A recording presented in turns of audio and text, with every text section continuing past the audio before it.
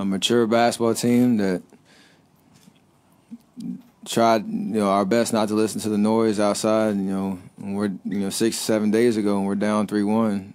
Everybody thought the wheels were falling off, and it was kind of end of our our run. But in that locker room, the talk was positive. It was you know let's figure this out. Let's let's go out and you know take it one game at a time and claw our way back into the series and see what happens. And we followed that that kind of mindset you know these last three games, and it's it's just you appreciate how how tough it is to get back here. That's that's the one thing I've learned is just you can't take any anything for granted because it's it's such a grind, it's such a battle against a great Thunder team that um, you know pushed us to the brink. So you got to be appreciative of of this accomplishment, um, and now look forward to getting four more wins. Steve Bitker, KCBS. Steph, back to your right. Do you feel more joy or relief now? And what are your thoughts on facing the Cavs in the rematch? Um, I feel joy for sure.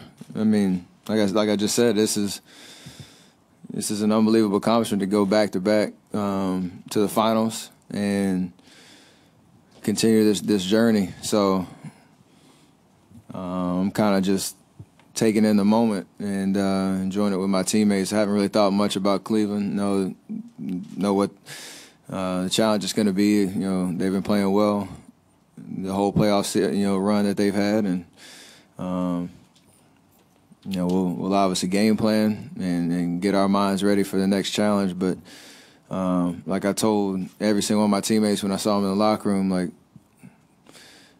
uh, and, and, embrace this this this accomplishment, this moment, because of how hard it is to get back here. And you know, we have 48 hours, you know, starting tomorrow to get ready for Game One at home, and uh, we'll have time to do that. Steph Michelle Steele, ESPN. You guys were down 3-1. Was there a key moment in this series that represented a turning point for this team? Um I think that second quarter in Oklahoma City where we're down double digits, I think, and there's another there's a, that that same kind of moment where in game three and four we lost control of, of the game and they pretty much won it won you know both those games in that six minute stretch. We kept it to I think it was five um, going into halftime, and I understood what it was going to take to win. Obviously, Clay and the shots he made down the stretch were huge, but we gave ourselves an opportunity to win that game and keep keep you know stay alive. And um, in that building, it was it was such a hard thing to accomplish. Um, and we found a way to to stay in the game and and uh, keep our composure down the stretch. So that, that last six minutes, second quarter was was huge. Over here, Jimmy Durkin, Bay Area News Group. Um, Andre came back into the starting lineup tonight.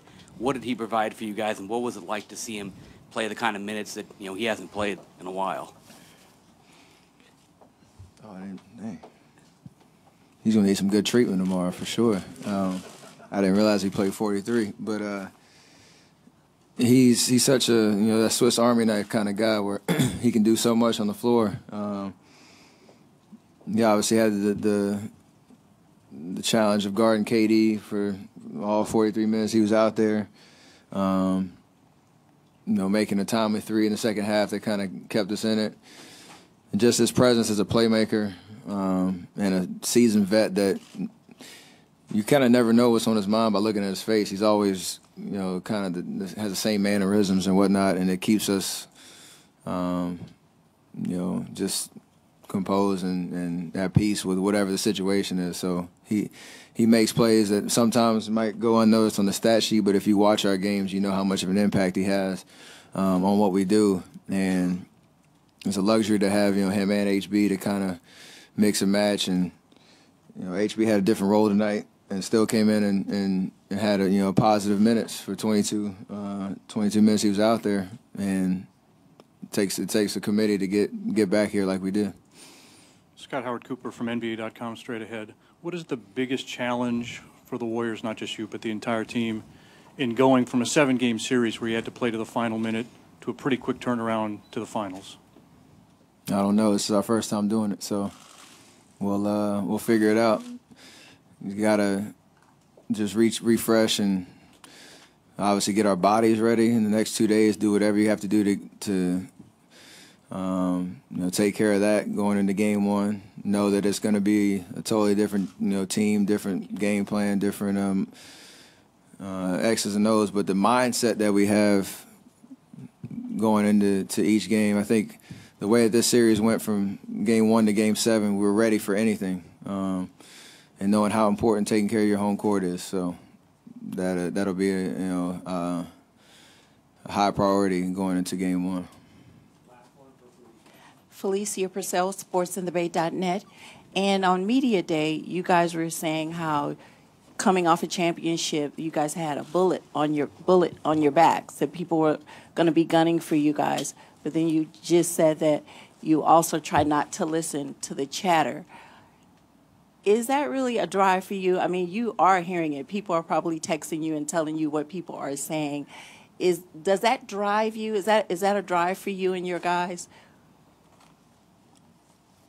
I think what we were referring to was when we get out on the court that we were going to get everybody's best shot, and we have all regular season and and obviously in the playoffs, uh, it's it's heightened even more. So that wasn't talking about the noise outside of our locker room. Was on the court. We knew if when we played every 48 minutes was going to be tough and um, a battle, and we were going to have to uh, rely on our experience and um, you know, our togetherness as a team. So that hasn't changed from game one to to tonight, and we're gonna have to rely on that same kind of uh, unity. I'll call it uh, going into game one of the finals and, and trying to just figure out a way to win four more. Um, that's all that matters right now for us. Is uh, we put ourselves in a great position to realize a, another goal and got to get it done.